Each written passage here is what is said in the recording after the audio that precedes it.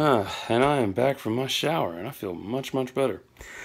So, we got some more cars. This time, Star Wars.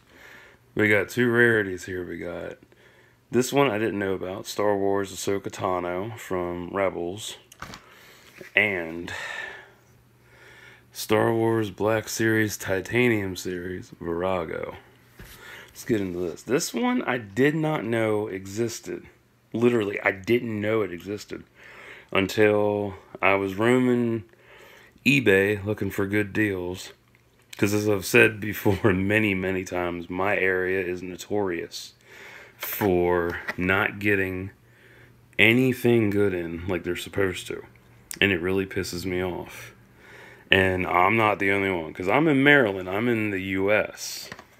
I know a lot of my friends overseas have had issues where uh, they didn't get Black Series figures from Last Jedi until like last year. Or it might have been Rogue One. Look at that detail though. So yeah, they've had issues themselves. So it's not just me. And a lot of the shit's region exclusive, which is really annoying. Now check out this Virago. This is uh, Prince Xizor's ship actually. From Shadows of the Empire. I got this for I think 11 something on eBay because it was a hell of a deal. I couldn't pass up on it.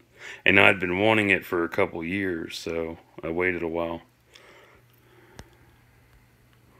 There we go. Manufacturer and all that good stuff.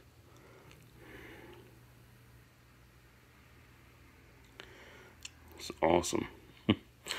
That's a really good deal.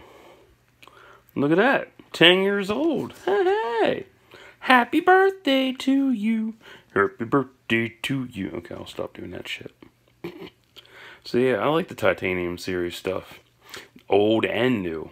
And you'll see why later on as I get into my other, my storage bins and whatnot. You see what I got in those. Because, wow. So yeah. So there's those two. There's my awesome foot. And if you're wondering what that is, surgical scar. so I'll be right back with some more.